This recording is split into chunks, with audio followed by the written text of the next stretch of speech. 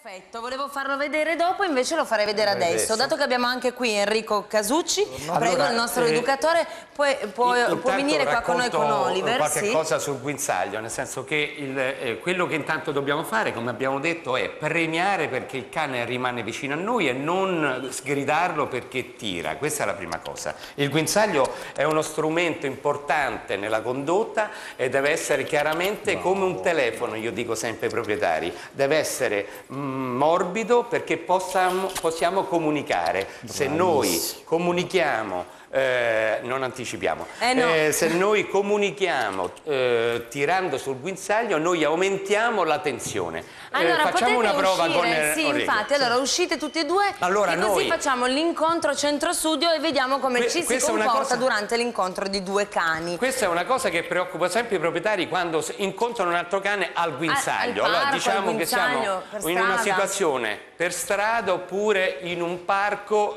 non chiaramente un'area per cani, perché sennò potremmo lasciarli liberi. Allora, vediamo Lì- Uma e Oliver. Allora, Uma e Oliver si incontrano, non si conoscono. Vieni Uma, andiamo di qua. Guarda Uma, guarda un po', andiamo.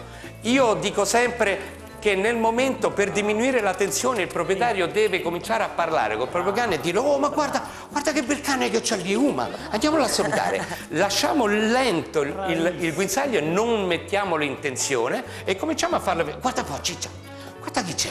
Ugo, buongiorno! E lasciamo, lasciamo che i cani esplorino, se siamo bravi li facciamo proprio girare e poi vedete che in questo modo non è successo nulla, ritornano e vedete che anzi si piacciono un pochettino, cominciano a scodinzolare e possono iniziare poi, Uma, non essere interessata ai pappagallini. Eh, perché Oh, Uma- bravissimo. E Oliver Lo sappiamo, nella sua induce al sono- gioco sicuramente Uma cerca di attirare la sua attenzione ma come vedete nessuno di noi ha, ha- ha messo in tensione il guinzaglio e per cui non, me- non tra- non trasmette la tensione Giusto. perché quello che succede in quel caso se si trasmette la tensione possono cominciare a dire oddio c'è qualcosa che non va e possono minacciarsi fra di loro Beh, io direi c'è qualcosa che non va se non fosse avvenuto bene questo esperimento perché un educatore è un comportamentalista, eh?